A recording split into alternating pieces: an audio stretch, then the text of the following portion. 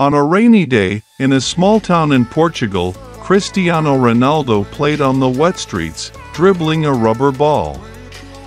Behind his bright smile lay an unstoppable determination and a burning desire to change his destiny.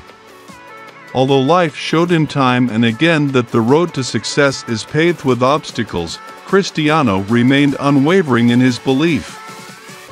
He knew that to reach for the stars, he had to overcome the hardships that came his way.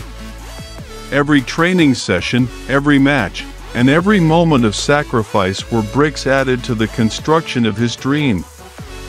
He never stopped fighting, learning, and perfecting himself, aware that success doesn't come easily, it's the result of constant work and a passion to pursue one's dream. With every setback, Ronaldo didn't let himself be defeated, instead, he rose stronger and more determined to achieve his goals. He understood that the secret lies not only in your talents, but in how you use them to pave your own path to excellence. Today, when we look at Cristiano Ronaldo, we don't just see an incredible footballer, but also a living example of perseverance and passion. He reminds us that dreams can become reality if you're willing to fight for them and believe in yourself, no matter life's challenges.